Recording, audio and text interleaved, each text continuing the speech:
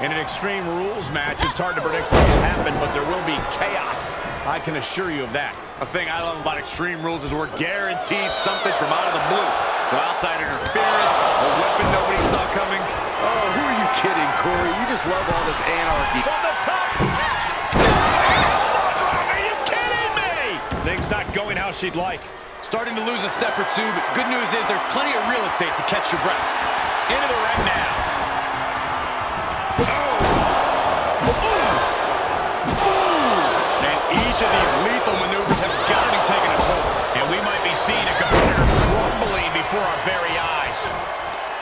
You know, I have to ask Corey, how much of an actual strategy is there in a no disqualification match?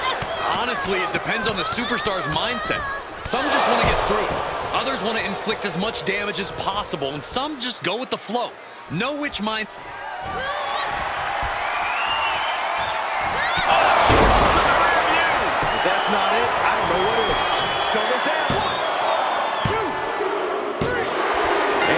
official calls it. Clearly, they cannot fight any longer.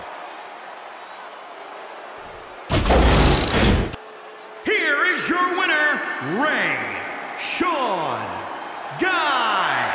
She did what she needed to do and came away with a strong victory.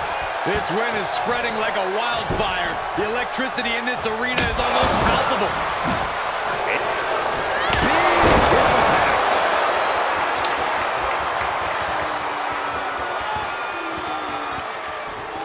Oh, look at that. Embracing her adorable.